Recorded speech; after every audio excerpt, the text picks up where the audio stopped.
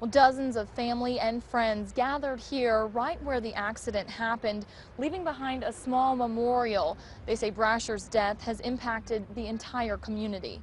He's one of like the truest friends you could ever have. According to those who knew him, Christian Brasher was someone special.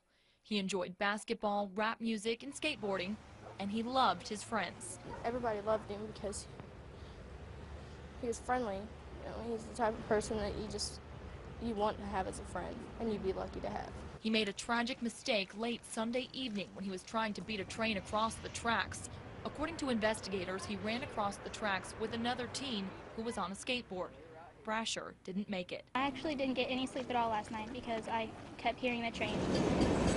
The sight and sound is common in Claremore, with about 40 trains passing through the city limits every day. Everyone who lives around here has ran in front of a train. No one ever thinks about it, but it really can happen to anybody.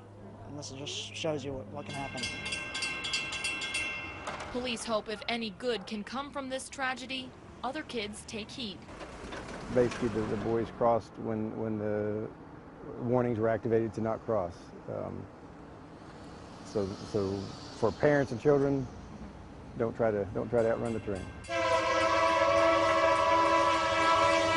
Because that familiar sound is now a painful reminder. Now that you hear a train, you, that first picture in your mind, you're like, he's gone, he's not here.